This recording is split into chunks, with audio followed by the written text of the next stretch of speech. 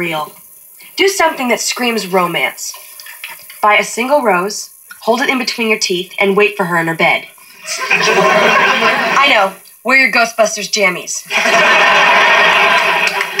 but don't tuck them in.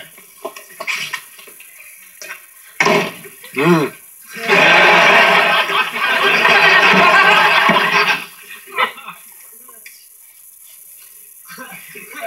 the hell's wrong with this remote control? Well, Dad, I'm no electrician, but I'd say the trouble is the TV's gone.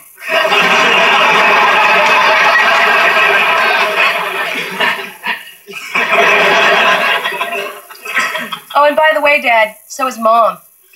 Wait a second, let's not gloss over this TV thing.